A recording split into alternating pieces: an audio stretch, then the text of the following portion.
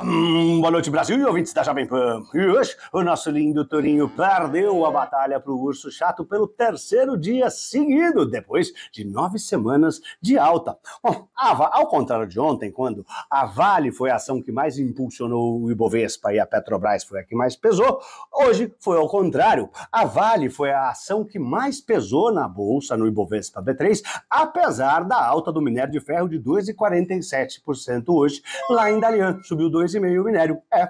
E a Petrobras foi a ação que mais segurou o Ibovespa B3 hoje. As ações da Petrobras subiram na esteira da alta do preço do petróleo. O barril Brent de petróleo subiu 2% hoje.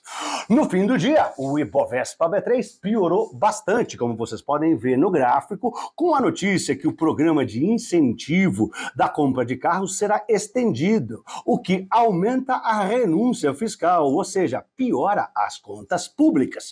No fim do dia, o Ibovespa B3 terminou com 0,7% de queda aos 116.681 pontos, enquanto o dólar, que subiu bem hoje, bateu 4,87, não só porque o dólar subiu mundo afora, tá? mas também porque a expectativa de corte de juros do Brasil está se tornando cada vez mais plausível, mais real, e isso faz com que os investidores estrangeiros saquem o dinheiro daqui, por isso o dólar sobe o real teve o pior desempenho entre as moedas de países emergentes. O dólar terminou com 0,7% de alta aos R$ 4,84. E a dica de ouro do touro de hoje é aproveite a promoção de aniversário da New Cursos, N-I-U, cursos.com.br.